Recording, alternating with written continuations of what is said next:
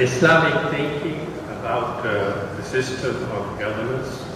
They have characterized the state in Islam to be founded on shura, maslaha, and ijtihad. Consultation, public benefit, public interest, and to, to to formulate rulings to issues as they arise.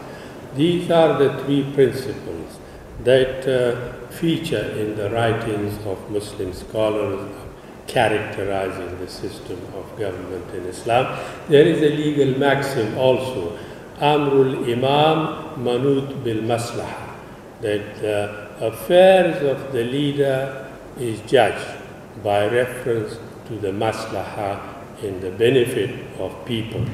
You see, there is a lie.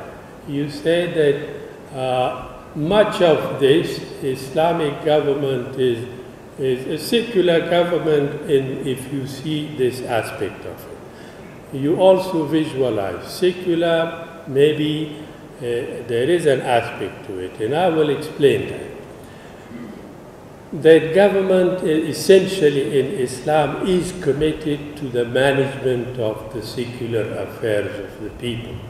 It has very little role in aqaid, in ibadat, in worship matters, in the matters of belief, in the matters of halal and haram, in the values that you find. Uh, this is commitment in, uh, in, in a substantive sense. Uh, there is an aspect, uh, I will come to that, what we make of secularism from the Islamic perspective. But we need not to really worry about ourselves. Much has been made about this theoretical kind of tension that exists between democracy and an Islamic state.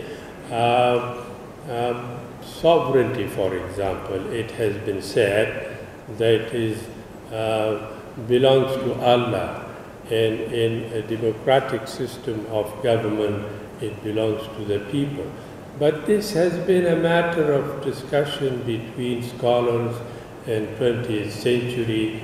There are two kinds of sovereignty. One is siyadatul hukum, and the other is as-sultan al-tanfizi. The first is sovereignty that tahakkum on values that ruling, rule-making, formulation of laws on values, aqidah, ibadah, halal and haram, the state does not have a role, much of a role in it. A management role, perhaps, administration. But the role that it has um, is in the capacity of a sultan al-tanfizi, uh, executive sovereignty, if you might uh, uh, characterize it. Sovereignty is in any case not an Islamic idea. It is a European idea. Muslim scholars try to make sense of it, but you will find that uh, in the history of Islam, the models of governance that we have, we have all sorts of names. Khilafah, Imama, Sultana, Imara. We don't have this expression uh, uh, Islamic State, Al-Dawla al-Islamiyya, which is a 20th century expression emerged in the writings of uh, Rashid Rida and others. This is representative of the sensitivity, it's not accidental, of Muslim scholars not to bring religion into the heart of politics. That is why they avoided this expression. But then we came to the 20th century in political Islam. Uh, Islam is deen wa dawla. Uh, there was no dispute over that in the past. We recognize the place of government and the place of religion. But then uh, things changed. Uh, traditional Islam basically has very little or no problem with democracy. But political Islam is problematic. When it says that the state and religion are the same, then immediately you have politicized Islam and brought it into the center stage of governance. Um, um, one, one other point that we may make, the value that democracy brings to us.